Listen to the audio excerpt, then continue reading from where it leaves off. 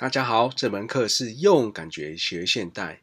那感觉就是指用心去感受。我很喜欢《小王子》的这句话，就是说本质是眼睛看不见的，只有用心才能够去感受它。《小王子》这本书于一九四三年出版，法国艾修伯里的著作。虽然是童书，但我也是在二十几岁才翻了它。其实蛮适合成年人来观看的。他最近知道，哎，十月初有一部改编的电影要上映啊，改编的手法其实也蛮有趣的，推荐大家可以稍微点预告来看一下。用感觉学数学，其实是大数学家庞卡瑞有背书的哦。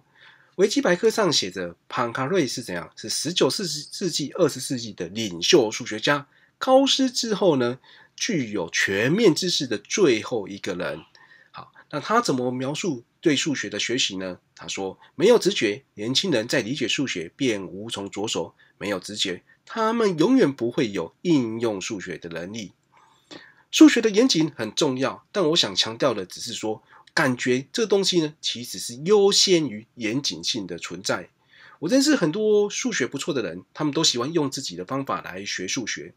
能用自己的方法来学数学，其实表示他他们其实有自己的感觉。”不过，感觉这件事情很难教，所以这门课呢，我只是多分享一下我如何去看现代，我对看现代有哪些感觉。透过我的分享，其实是希望大家能够发展出一套自己对于线性代数的看法与感觉。要如何来感觉线性代数呢？在往下看之前啊，建议大家可以先来看这几个图。这个应该是把一些课本上呢出现越多次的字就越大。好，那大家可以分享一下，好想一下，诶，你看到什么？对，然后你注意到哪些特性？